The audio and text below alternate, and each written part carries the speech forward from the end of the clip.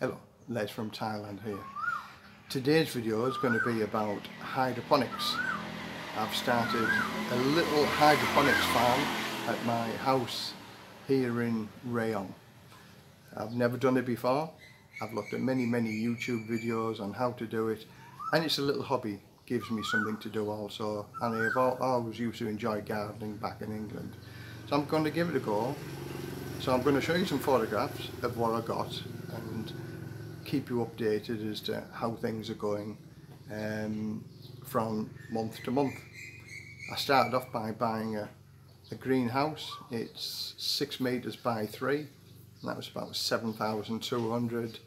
Um, I've gone with a Dutch bucket system with regard to um, growing tomatoes, bell peppers and nutrient film technique.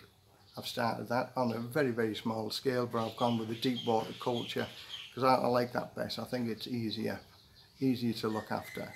Um, I put the electrics from the house into the garden uh, and then also into the greenhouse so I can run a, a pump and a, a filter system and the aeration system for the for the water. So please follow me if you like it if you want to watch more videos on that or ask any questions, I'll let you know as much as I know. But for now, I'll show you some photographs and then I'll come back at the end and explain what the photographs are. The photograph that you've just seen is the Dutch bucket system and in that one I've got eight eight plants set up at the minute, eight Dutch bucket system and what I've done I've used pumice as the substrate with a mixture of coir now these are these are non-disease bearing uh, substrate so you don't get any of the diseases from the soil. So this system of doing it is totally soilless and the only nutrients it gets from the water that you pump into it and the nutrients that you put in the water. So I've got a, a small fish pump which pumps the water to each bucket system. There's a drain in, in the bucket so it never ever overflows and it just pumps it into there then it drains back into the water system and it just recirculates and recirculates and recirculates. This is my first attempt at doing it so hopefully fingers crossed will bear some good fruits.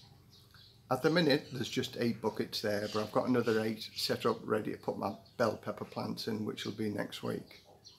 The second photograph that you'll see is the deep water culture. Now this is only a small tray really, really that I've started just to see how it works. And what basically what this is, you get some polystyrene, you drill some holes into it, you fill the tray up with with nutrient water, and then just leave it. Um, I've subsequently been told to put an aeration um, device in there, like a, an aeration pump from a, a fish tank, and that oxygenates the water which then helps the plants also. So I'll be doing that eventually. Um, the one that I've got set up in the greenhouse that'll be getting done next week with regard to the aeration system put in there. And in the next few days I'll have the the um, the pumice in the other buckets and I'll get me pepper plants. Altogether I'm hoping to have maybe 25 30 tomato plants and about 10 or 15 bell peppers. I'm also growing lettuces um, and cucumbers.